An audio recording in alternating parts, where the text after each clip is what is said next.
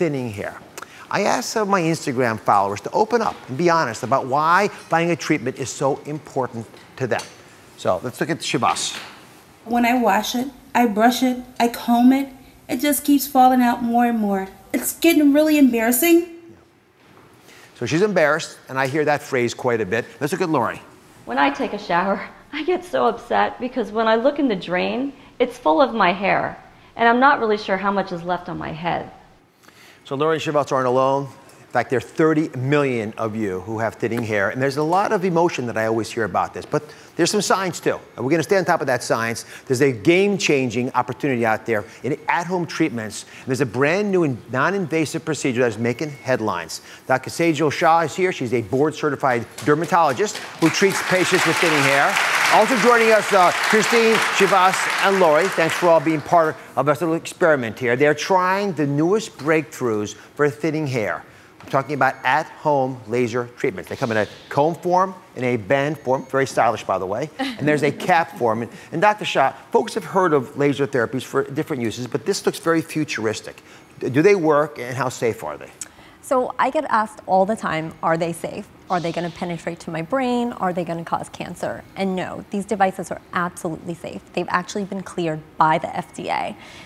We've had laser treatment for hair growth for many years, but what's new is that we now have home devices, and that's the breakthrough. You can do these treatments in the comfort of your own home. So could you walk us through a couple? I'm curious, like this Sure. one's beeping away. It sounds like a, a time bomb. Yeah, see the Sure. inside? Is bar for one second. I know you don't want to give it up at all, Oh. do you? So this is the comb, and as you can see, there are these teeth here. In between is the laser diodes. Why the comb is great is it's good for women who still have a little bit of thickness to their hair because it helps separate. The beeping tells you when to move the device. So it's also good for women who have thinning all over because you can really use the comb all over the scalp to all the areas. So, you know, I know you want that back. You're grasping. All right. How about, how about this uh, sort of uniquely Star Warsy approach? So this is the laser band, and this is actually one of the newest devices on the market. So similar to the comb, it's got the teeth, and in between are all the laser diodes. Oh, each of these is a laser? Each of these yes, little. each oh. of these little diodes a lot is a of laser. them. Yeah, there's about 82 here. So the way that this device works is, I don't know what's it turning on. Yeah, oh, there, we it is. go. Oh my goodness, bright. So you place it right on the head like a headband, and You can sort of see it there, yeah. And basically every You okay 30 under there? seconds. Yes.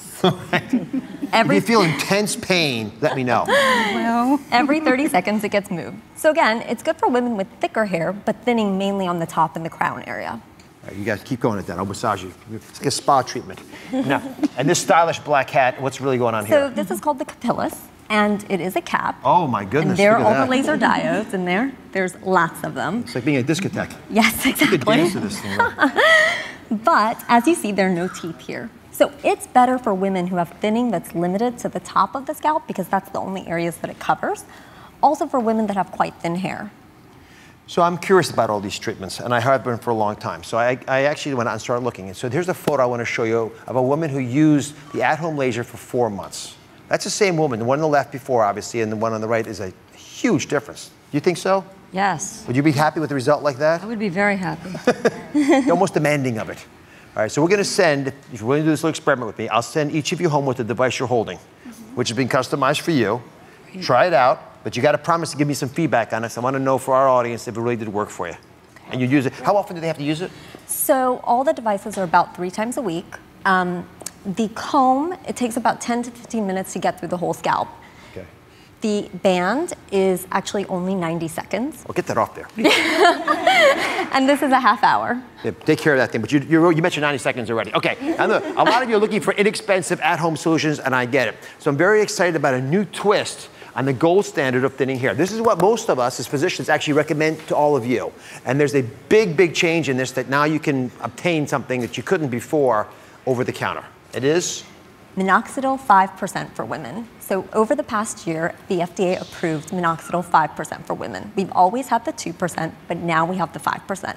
Doctors have been using the 5% off label for years, But now we know that it's safe, so women can comfortably use it. And as you mentioned, it is still the gold standard, so it's usually the first treatment that I do recommend, and we continue it while we're doing other therapies. All right, and this really is the gold standard. It's been used for many years, and doctors are very happy with this. All right, Dr. Shah, thank you very much. Thank All you. Right. Now joining us is plastic surgeon Dr. Anthony Youn. Can tell us about the newest thinning hair procedure that's making a lot of headlines. You've probably or you should have, I hope, heard of the word P, uh, the, the, acronym PRP. It's plasma-rich plasma. Uh, I'm sorry, platelet-rich plasma, and it's been used for orthopedic injuries. Professional athletes use it, but you think this is a great breakthrough for women who have thinning hair.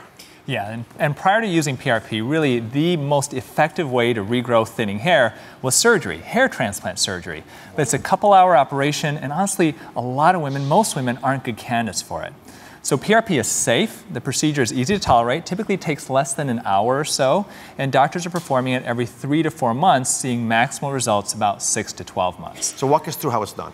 Okay, so you start by drawing blood from a person's arm into a specialized vial, and that vial then is placed into a centrifuge.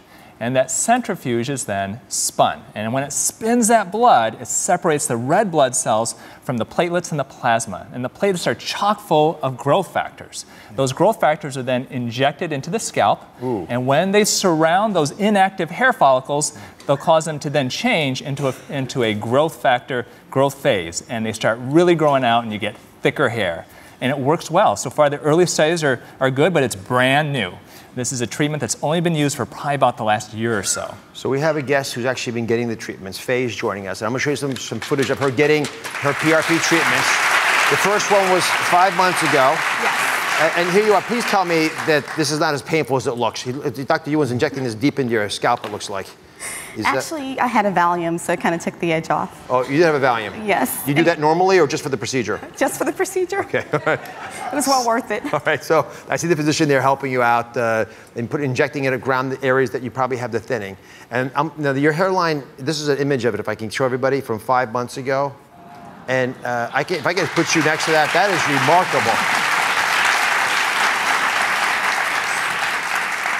So what do you think? I'm just ecstatic. I mean, after the second treatment, I washed my hair. Before then, I'd have to braid it, put it in several braids, because after combing it, I wouldn't be able to, or after washing it, I would be, wouldn't be able to get the comb through it. Yeah. I washed my hair on Wednesday, no braids, got the comb through it, no hair, hardly any hair came out. I was ecstatic. I was in tears. I was just so happy. And this is the first I've had my hair down in maybe three years. I'm so, so I'm just. You look fantastic. I'm so happy for you. women are suffering all the time over this. I know it's difficult. And I'm so happy when the technologies that actually give you something of meaning, that really do make your life a little easier for you to live. Right. And I found the doctor on your show. Oh, you did? Yes, Dr. Bernstein and Dr. Shaw. Yeah, on your show. They're wonderful physicians.